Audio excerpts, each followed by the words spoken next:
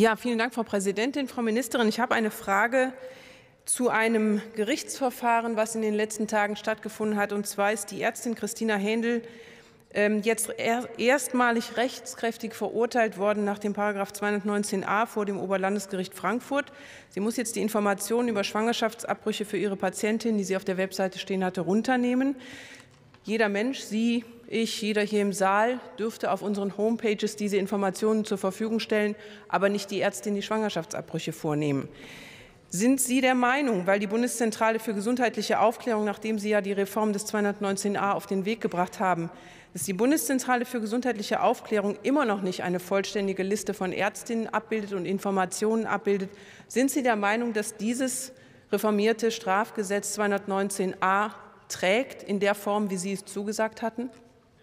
Ich will noch mal darauf hinweisen, das wissen Sie auch, Frau Schaus, dass dieser ähm, Paragraph 219a ein politischer Kompromiss war, der zwischen zwei völlig unterschiedlichen Positionen hier einen Versuch der Vermittlung unternommen hat.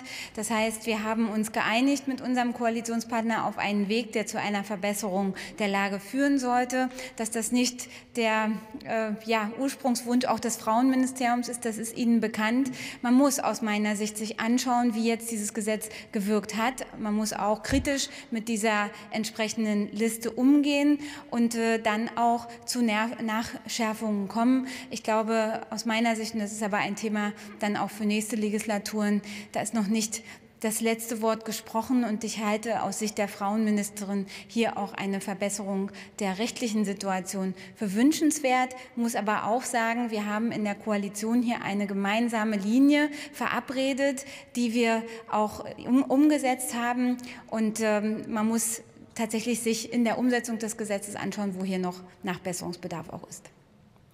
Sie haben noch eine Nachfrage? Konkrete Nachfrage noch mal Sie haben das jetzt gerade gesagt, dass es ein Kompromiss war. Das mag sein, aber es gab eben damals auch das klare, die klare Aussage von Ihnen in der Koalition, dass alle Informationen für Frauen zugänglich gemacht werden und dass eine eine Liste von Ärztinnen zugänglich mhm. gemacht werden sollte. Das ist aber bis heute nicht geschehen und das ist jetzt im vorletzten Jahr gewesen, die Verabschiedung dieses Gesetzes. Wir erinnern uns alle daran. Das heißt, meine Frage ist, was werden Sie konkret in den nächsten Wochen und Monaten bis zum Ende der ähm, Wahlperiode tun, damit diese Informationen vollständig zugänglich werden? Wir haben ja die Rahmenbedingungen verabredet mit dem Bundesgesundheitsminister dafür, auch mit der Bundesärztekammer und der Bundeszentrale für gesundheitliche Aufklärung für diese Liste der Ärzte, die Schwangerschaftsabbrüche vornehmen, die dann auch Informationen teilen. Man sieht in der Umsetzung, dass bei, bei weitem nicht alle Ärztinnen und Ärzte bereit sind, sich auf dieser Liste verzeichnen zu lassen, weil sie Sorgen haben vor eventuellen Angriffen, wenn ihre Adressen öffentlich sind. Das ist das gleiche Problem, was Ärzte haben, wenn sie auf ihrer Homepage veröffentlichen veröffentlichen, dass sie ähm, Schwangerschaftsabbrüche vornehmen. Ein jeder, der das veröffentlicht, muss auch Sorge vor Anfeindungen haben. Das ist eine Realität, auch eine traurige Realität.